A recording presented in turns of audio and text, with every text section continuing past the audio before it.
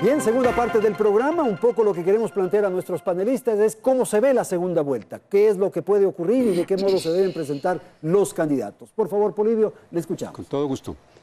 Primero, pues que presentamos nosotros nuestro informe como eh, nos corresponde al, al CNE sobre la exit poll, los resultados que nosotros habíamos obtenido. Eh, aquí está el informe ya con la recepción correspondiente, ¿no?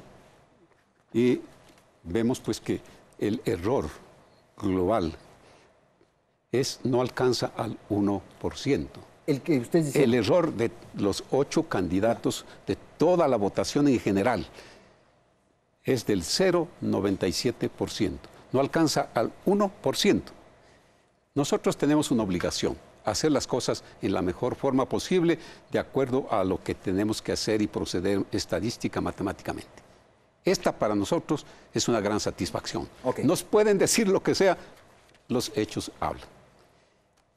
¿Cómo se presenta la segunda vuelta? Sí, los días miércoles y jueves, después de lo que ya se dijo que hay segunda vuelta, estábamos preparados, nuestra población todavía, los que trabajaban con nosotros, estaba ya en, los- en las diferentes provincias, hicimos una encuesta, que la terminamos el día viernes al mediodía y puedo tener, si es que es posible, Por favor, claro. la Nos oportunidad de decir qué es lo que dice la población al viernes 24.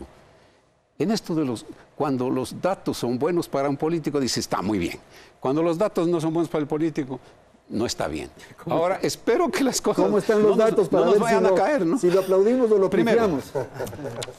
En lo que se refiere a la decisión del voto, Para la segunda vuelta. para la segunda vuelta, ustedes recuerden, y tengo hecho la medición semana por semana, que la indecisión hasta la víspera del día 19 estaba en más del 30%.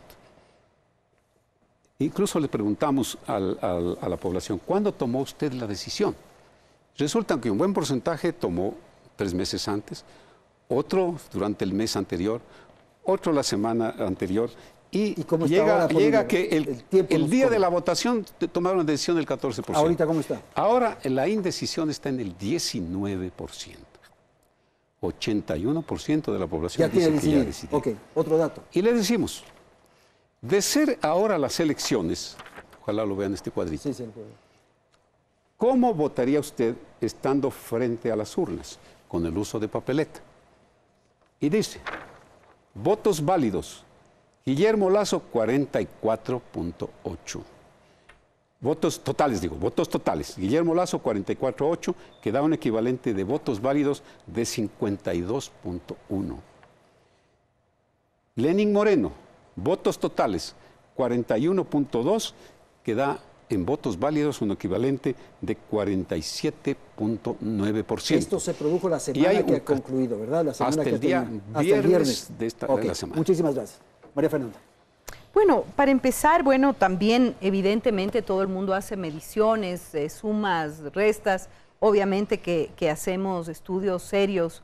Eh, nosotros y otras eh, encuestadoras, pues que no tienen nada que ver con nosotros, tenemos cifras y números eh, que son realmente contundentes nuevamente de apoyo a Alianza País y al candidato Lenín Moreno tenemos el apoyo y el cariño del pueblo ecuatoriano. Lenín Moreno está haciendo pues una serie de visitas de agradecimiento a quienes optaron por la opción de Alianza País. Realmente es desbordante el cariño de la gente, como tocan, besan, abrazan eh, a Lenín y al hacerlo abrazan también sus propuestas. El plan Toda una Vida, el plan que le va a dar casa a todos los ecuatorianos, el plan que va a dar crédito a los jóvenes para sus emprendimientos, el plan que va a construir 40 universidades para ampliar la oferta de opciones universitarias para los jóvenes, el plan que va a dar este, una pensión a los adultos mayores, el plan que va a cuidar con la misión Ternura a los niños desde su nacimiento, el relanzamiento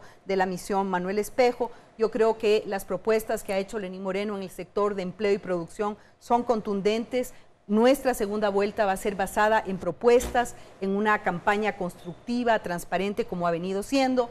Le decimos no a la, violencia, no a la campaña sucia.